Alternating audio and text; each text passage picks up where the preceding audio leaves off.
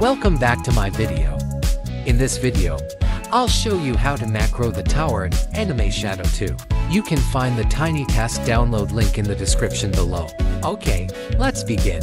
First, go to the teleport section and select the lobby.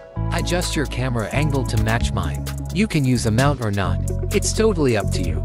But I think using a mount will help us move faster while macroing. You can get a mount by claiming your daily reward on day 7. Buy VIP or Premium Pass.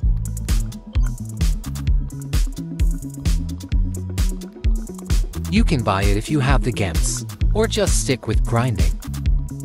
Now open TinyTask and set up your key recording.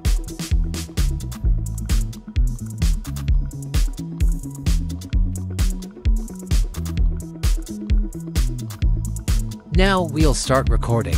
Do exactly as I do. Start the recording and do a few clicks.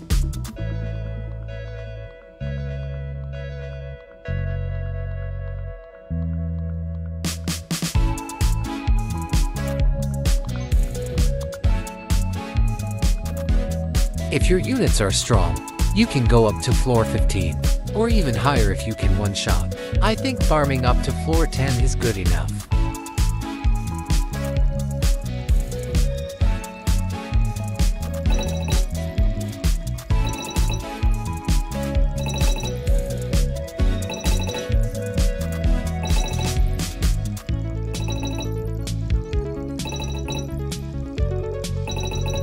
At Wave 9, we'll claim the reward to optimize AFK farming.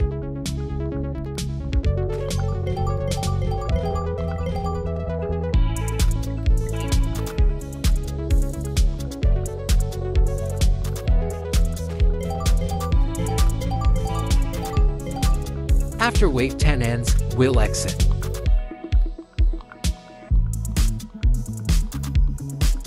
Alright, that's the macro all set. Now I'll adjust the replay button. You can set separate hotkeys for both. I'm just used to using F8. Go to the pref section and set it to repeat, or choose how many times you want it to play. So now we can AFK 24-7s.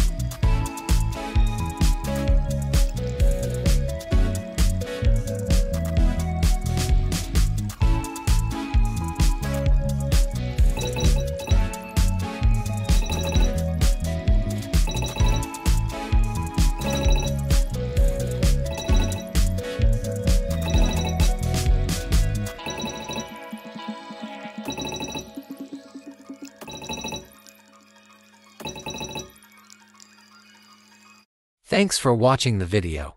Don't forget to like the video and subscribe to the channel.